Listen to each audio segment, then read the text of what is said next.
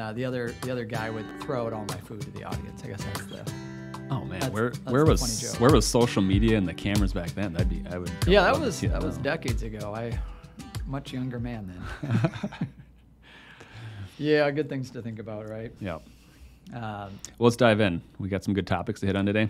Yeah, yeah. As we do uh, most weeks, we look at headlines and see kind of what's what's hitting, what's important to investors. Uh, this week, the FOMC meeting, uh, led by Jerome Powell, Federal Reserve. We saw what co- comments about interest rates. Markets thought that we Yeah. might see interest rates drop in uh, May, uh, March. March, yeah. Right. Uh, however, now a new tale. Yeah, yeah. Effectively, what happened after the announcement this week, the Federal Reserve, um, stocks got more volatile. Stocks sold off on Wednesday. Um, Jerome Powell, the head of the Federal, head of the Federal Reserve, basically said we don't need to cut rates as soon as um, the market is effectively expecting, which is March. The, the market was expecting a March rate cut, and they're basically saying now not really needed. We're not expecting to do that in March. Yeah, so their mandate is to uh, what, jobs, inflation. Those are the two parts. So they're looking at those numbers and saying we're just fine to keep maintaining this interest rate that we've currently get, currently got. Yeah, exactly. Their main lever is around interest rates, the short term interest rate environment, raising it and lowering it to either kind of slow down growth or speed it up. And so they're basically saying we're staying steady. That was expected that they're not going to change at this meeting, but it's well, what the difference or the change was from December was that the tone is more of we don't need to do it as soon as what was previously expected. And the markets, of course, operate off expectations, and those expectations just changed. Yeah, I'm reminded of an episode we did a you know, maybe a year ago. The pen is mightier than the sword. Yeah. that kind of the thematic of it. That if Powell and central bankers are just sort of indicating or inkling, hinting uh, that that may be enough to let the markets know, uh, ease off. We're not quite there yet. Yeah. And financial markets reacted. We saw that in a moment. So you think about, yeah, the pen is mightier than the sword, and you know the the the weight that the Federal Reserve carries is quite a bit, right? The markets moved based on those comments, and the expectations changed. It's we, we still think in the in the Federal Reserve uh, say, saying effectively telegraphing the same thing is that they're going to cut rates sometime this year. It's just going to be later than what was previously expected. So it's not a matter of are they going to do it. It's a matter of when are they going to do it. Yeah, think about the sell-off that happened on Wednesday. You know, but that before that, what preceded it is uh, the Dow Jones, S and P indexes hitting you know either highs or all-time highs, uh, certainly doing well. So it's it's not like markets are down; they're just down from highs, which is probably pretty healthy in some ways. Yeah, yeah. Some of the headlines yesterday, of course, they kind of get, um, you know, of course, they try to be grabbing eyeballs, but you know, it was more a bigger move in the market than we've seen in a few months. But we've also been through in the fourth quarter of last year and into the first part of this year, we saw stock markets rise quite a bit. Um, so it's not all that unusual or uncommon or unexpected to see some volatility. And this week, it was really kicked off by those comments on, on when they're going to ra- when they're going to cut rates. Yeah, think about what uh, what would cause them to lower rates. We said inflation and jobs numbers doing pretty well. What's the big elephant in the room? Yeah. So yeah, inflation is a big part of it. That's been the story in the last several quarters, right? Inflation moved a lot higher um, quarters ago, even going back a couple of years, and so the lever for them was to raise interest rates to kind of slow things down to get inflation to come down. Now, that whole time, the other mandate they have is the jobs market has stayed pretty robust, and it continues to be. Um, there hasn't been a lot of change there. So they've been able to be pretty um, aggressive with rate hikes to stomp out inflation and not trigger um, any kind of kind of um, side steps or mishaps in the jobs market. So they've so far they've been you know relatively successful with their moves. Okay, moving into the the debt. So financially, uh, the U.S. Ha- is carrying debt. That's kind of structurally um, one of the ways we, we operate here in the U.S. is that we, we carry a debt, and I believe it's what is thir- 34 trillion. I think Thirty-four is- trillion. That's with a T. Yeah. Yeah. Now that's the amount of debt. There's interest on that Yeah. that's coming due. Um, we talked earlier about uh, treasuries being a way that they were financing this debt, and every couple of weeks, is it, they have a treasury sale, Yeah. various two year, 10 year, 30 year, something like that. Yeah. And yeah, what where am I going with this? It's uh, that we're trying to finance the debt, and the, that debt is it 30% is coming due in 2024. Yeah, yeah. There's a high percent of the 34 trillion that will be coming due that will be maturing in 2024, and of course that will need to get re, effectively kind of refinanced um, into new bonds at current interest rate environments. Right, because we're not we're not paying off the debt; we're just refinancing the debt at a different rate. Yeah, exactly. Um, we don't have the dollars to pay off pay off the debt. It's only um, 34 trillion after all. Yeah. And as a side note, we have a we have a um, a budget deficit too. So not only do we have the 34 trillion, we're going to be adding to that. So as a bond comes due, think of it as a as a as a treasury bond matures, um, they're refinancing that into a new one, and they are also adding to the pile because there's other spending commitments that were put in place that are getting added to it. And so it's also increasing more. And maybe from a consumer perspective, if I have a credit card, I run that one up. Um, I kind of hit my limit. I go out and get a new credit card. Yeah. That has a different rate, but allows me a, a greater limit essentially. Yeah, yeah. It's kind of like yeah. To use that example, the the limit, the credit card limit has uh, keeps on rising. Right. So we've been able to kind of keep borrowing more, uh, but there's a cost to that. And, and an interest rate uh, consequence or reality. Yeah, probably a little both. both. Yeah. yeah. Um, yes, both. um, yeah, and going back to the Federal Reserve and how so the Treasury's you know Treasury and Federal Reserve two different um, kind of uh, parts of the government. Tying that back together, as the Federal Reserve, Federal Reserve has increased interest rates, it's made that cost of borrowing get higher and higher, larger and larger.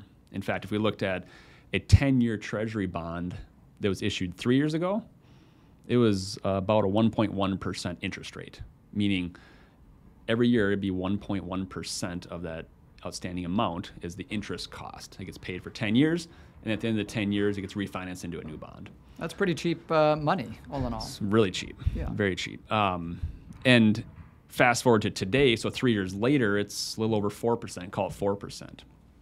And so we went from about a 1% borrowing cost to 4%. In terms of what that means in terms of interest cost, not paying off the principal, the interest cost, it's about three times higher. Um, to go from those two rates. So it's three times more expensive to issue 10 year bonds now than it was three years ago. That's huge. Yeah. Right. It, when I look at the, uh, the sort of government balance sheet, uh, the you know the budget, if you will, what they expect to to pay off. You know, we have these line items like Medicare, Social Security, Defense, yeah. all these other ones. Um, what so last year in 2023, they they were projecting 600. Uh, what was that? 640 billion was right. the interest cost um, for um, to cover that debt. And so, with new interest rates being what they are, we have a new projection. Yeah, the new one cl- closer to a trillion dollars. So that's the result of debt increasing. Right, we're adding to the debt pile as well as interest rates going higher. Now, why that's important now is that this year, again, 30% of that roughly 30, 34 trillion dollars needs to get refinanced. Mm-hmm. And again, going back to what we started with, interest rates are higher. And so 30% of our 30, 30 or 34 trillion gets refinanced at a higher rate. And that gets to be an impact that's not really linear in terms of how much more it costs. It kind of gets to be more exponential in some ways. Right. Um, the real extreme example is a two year treasury. So we talked about a 10 year treasury. Three years ago, the two year treasury was at 0.14% free, just about. Basically free money. Almost zero. The Treasury could issue bonds, and it would cost them basically nothing um, to to borrow. And now that's at a little over four percent, four point three percent. So you go from basically close to zero to four point three. That's about a thirty time increase in the interest cost. Thirty Three, times. Three hundred percent. Yeah, right? thirty times higher. So what you were costing before to carry that bond is now thirty times higher. Yeah, from a just a household perspective, if we were to live this way, uh, Yeah. you know, to try to refinance, it would be just so significant. So it would it would be like having, um, yeah, your interest payments would out, outweigh your your principal for years and years and years. Yeah, and you know, think about too that credit card example as a at the consumer level, right? If the credit card company keeps raising your credit limit, and you're able to kind of keep um, borrowing more and more, that's right. The numbers still work out as long as the credit card company is willing to increase the limit. Uh, at some point, though, they may evaluate and say, "Look, this this level is too high. We're not willing to raise it anymore. You got to start paying down the balance." Yeah. And we could we could see that at some point. The U.S. economy is still the strongest economy in the world. It's not like we're concerned around treasuries and the treasury going bankrupt. It's still an extremely our GDP and our economy is the strongest, and our treasuries are the safest in the world still. Yeah. Um, but we, you know, across all financial assets, we need to be uh, aware that other participants, other investors across the globe, whether it's um, other countries that are buying our debt, um, whether it's institutions, whatever it might be, governments, cities, um, that that appetite, their willingness to kind of keep increasing the limit might change, such that we have to um, find a way to borrow borrow less or kind of pull down on that amount of debt. Yeah, yeah. I guess it comes back to that interest rate, right? So if we can uh, lower, if, if the Fed lowers the interest rate, that money is made cheaper. It's easier to service that debt going forward. Uh, that those who buy the treasuries are then getting less money back. Looks like that moves us into equities or other, you know, real estate commodities, um, different things that have a fixed value, right? Those become would seem to become more attractive. Yeah, they can. Yeah, yes. Um, interest rates impact, especially you think about the U.S. Treasury market, Treasury interest rates. Virtually, not say virtually, most other all other assets are priced off of Treasuries, right? The risk-free rate is what's known as. Mm-hmm. And so, whether it's a different type of corporate bond, a municipal bond, a stock, um, other types of assets, real estate, uh, commodities, generally it's priced relative to interest rates. So a movement in interest rates impacts other assets is the main takeaway there. Mm-hmm. A lot of it comes back to that. And for investors, as we think about how do we want to navigate this type of environment, for bond investors, if interest rates are higher, the bond, the interest rate they can earn as the investor in that can be higher. That can be good news. Um, as interest rates come down, bond prices can go up. There's an inverse relationship there. So for bond investors, we're seeing that you know, bond, whether it's corporates, even treasuries in the short term, municipal bonds, right? There's been a um, more attractive bond market than we've seen in a long time. Right. Yeah, and that, like you say, it moves into bank CDs. You know, so you know, right now people are looking at you know holding short-term money maybe in those and getting a, a higher rate you mm. know at their bank. Yeah, yeah. And the other side too is um, so bonds, the other broad asset class. Think about stocks. Uh, stocks in a um, declining rate environment, if that's the path that we're on, which we believe we are, and the Fed has reiterated, stocks can perform just fine and do well in a uh, falling interest rate environment. Right? The Federal Reserve, they have their main lever is to increase or reduce interest rates to either drive more growth or kind of slow things down if it's inflation. Um, and in an environment where they're trying to spur economic economic activity, historically they've succeeded in that, and that's pushed um, it, it's pushed economic activity higher, and it's pushed um, stock prices higher as well broadly. Yeah, I think about that kind of forward-looking market view that that eventually rates will come down, equities will go up. Uh, as we said, there was that sell-off, um, kind of anticipating, but mm-hmm. maybe not here uh, getting that Fed cut in March. That said, long-term thinking, it's just a matter of when. Yeah, as far as rate cuts. Yeah. Yeah, it's it's a matter of when. It's not an if it's going to happen. It's a when is it going to happen. Yeah, just that, that kind of pressure on there to be able to service the debt at large. Yeah. yeah. Uh, any kind of takeaways or, you know, for the uh, the investor here, probably invested a bit in both equities, bonds, maybe commodities, other things, real estate even.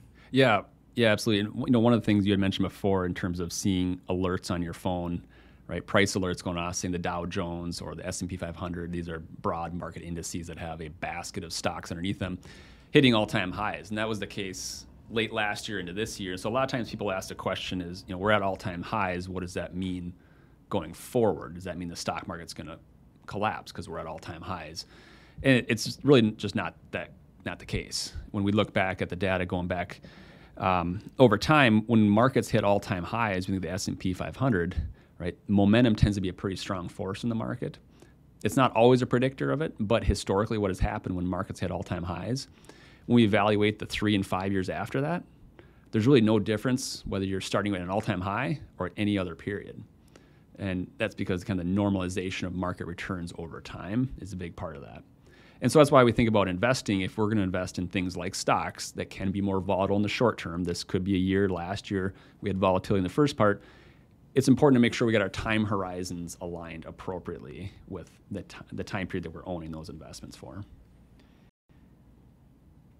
Yeah, it just seems like we always get back to that, uh, trying to have something in the short term for people who are you know uh, in retirement, kind of mm living off of their portfolios. Make sure that you can uh, handle that sort of volatility of stocks, equity, and so on, uh, just to make sure that your lifestyle and what your you know, month to year to even three year out horizon looks like. Yeah, yeah. The short term is far too unpredictable, right? And that's not just financial markets. That can be, you know, um, everyday life for for the most part. Um, and so in that short term, it's not worth, in our view, it's not worth taking the risk. And the compound returns aren't there anyways. Mm-hmm. Over the next couple of years, compound returns don't really help us in the short term. They help us in the long term. That's when the exponential growth tends to happen. And so, yeah, for that reason, it's in our view very important that for short-term dollars, things that might occur in the short term, to make sure those things are set aside, more stable investments, and then allow time for those other things that have a longer time period to really benefit from that compound growth.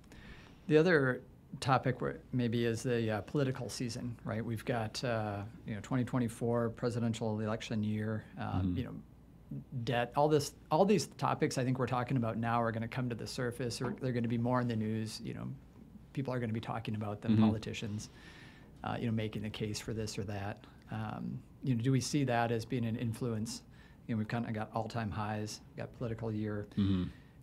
What do we know historically? Um, I think a key item there is that markets hate uncertainty, right? And we're in a year where we're going to have uncertainty until things are sorted out more, whether it's on the political side, whether it's on the interest rate side, uh, the economic growth, inflation. We can kind of pull a lot of those factors into it. Say the markets don't like the uncertainty of it, um, and they will react that way. The greater the uncertainty, um, the more potential for price swings in the market.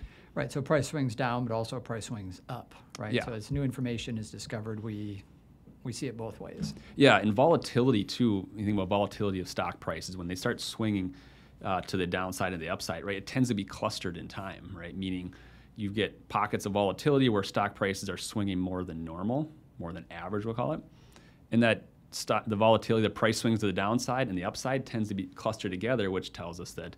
Um, although it's a painful time to be watching it, if you're watching on a daily basis, which we don't advocate, um, investors are investors that have held through those periods or even added or rebalanced, right, taken action in those time periods tend to um, tend to benefit coming out of that because the volatility to the upside tends to help them after that downside period. So again, it comes back to making sure the time periods are aligned. Well, I think that's I think we've covered a, a great amount of uh, topic here and you know, got through some headlines, some insights on it. Just really glad to be doing these shows with you. Thanks so much. Yep. Thanks, Ezra.